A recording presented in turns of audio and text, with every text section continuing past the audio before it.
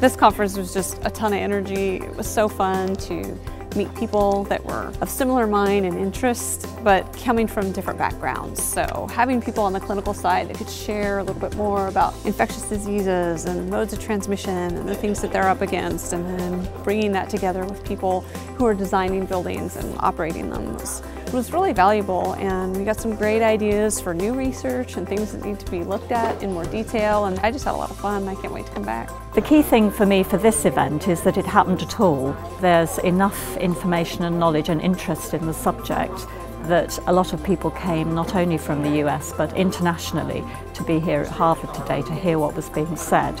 It was a great venue to see the convergence of multiple different disciplines. This is a fantastic time in healthcare for us to start looking at different ways to innovate and by bringing in engineering into the healthcare realm, helping us understand what our opportunities are, we're bound to do great things together. This symposium was wonderful and I think more physicians would benefit from hearing these discussions, particularly those whose focus is in infection control and prevention. And by bringing them into this environment might open their eyes to other factors that aren't necessarily considered routine standard practices. This symposium I think was great. It opened my eyes to a lot of concepts that you don't think about as an engineer.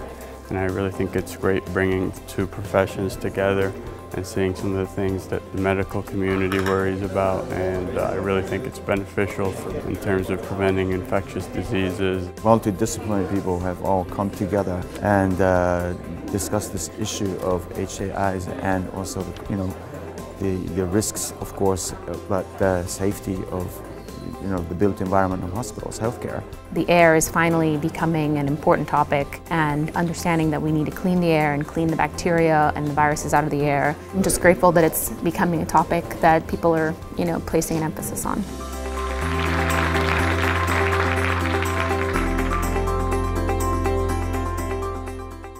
Okay, let's go. Thank you, Duncan. Um, I think I can safely say of all the introductions I've ever had, that was easily the most recent. that work? That's it. Ah, awesome. Yeah, awesome. That's my takeaway. that was great. That was great.